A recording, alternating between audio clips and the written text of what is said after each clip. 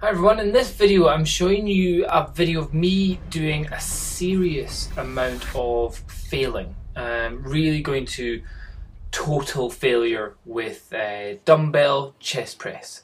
Um, so I've, I've got a little bit of an incline chest. I've, I'd already done some uh, full barbell stuff and everything and I was just wanting to really just kill my chest as much as possible.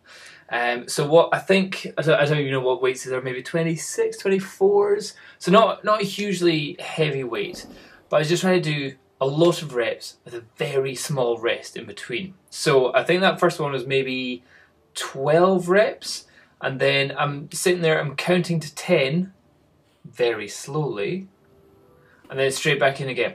I'm mainly just working the, the kind of chest part, so that's the first half of the move.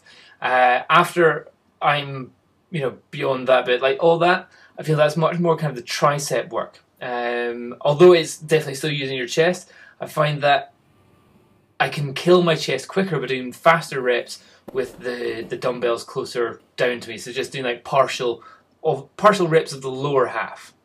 And I see there that last one was, was looking really difficult.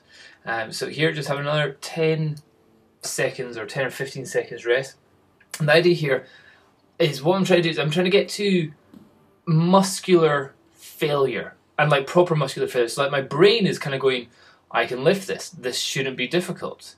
But my muscles are just going, no, no matter how much voltage you send down from your brain, we're not going to be able to lift this up again. Like, look at that, look at that. I know I can lift it, it's not a heavy weight.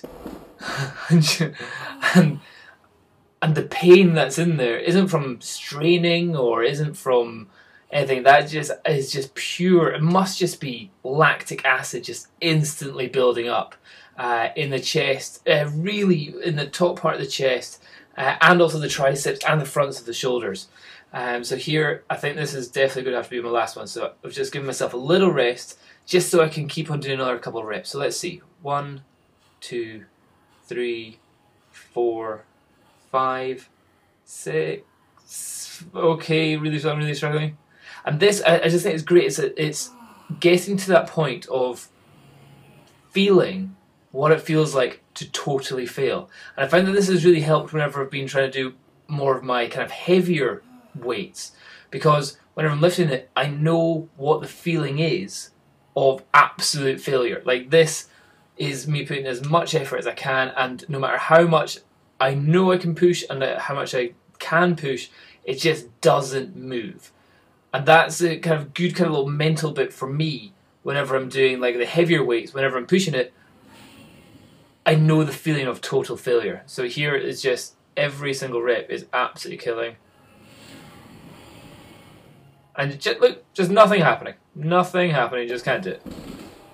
So yeah, that's now that is failure. So that's just something that I'm doing. Hope that helps. Cheers, bye.